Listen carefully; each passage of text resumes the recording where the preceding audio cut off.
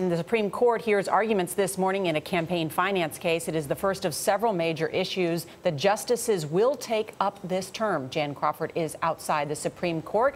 Jan, good morning. What's on the docket?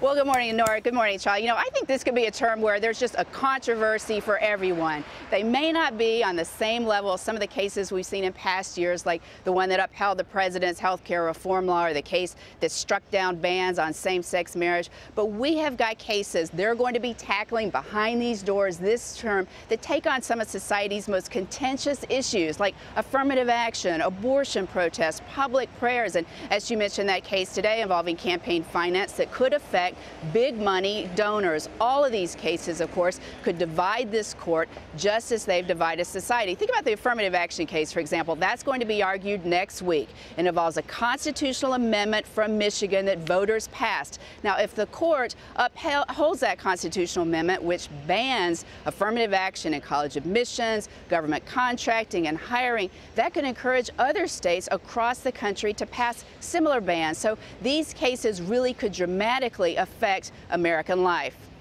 Uh, Jan, as you know, there were some people, what people considered victories for liberals last in the last session of the court. What are the will that change in terms of well, the the cut of these cases?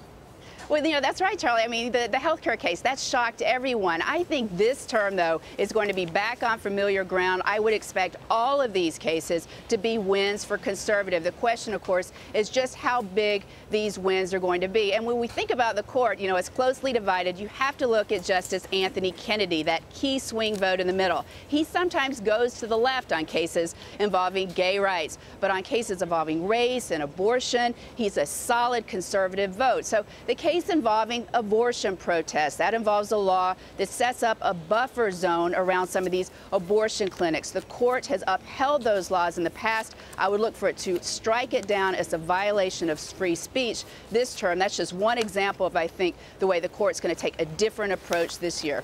All right, Jan Crawford, thank you.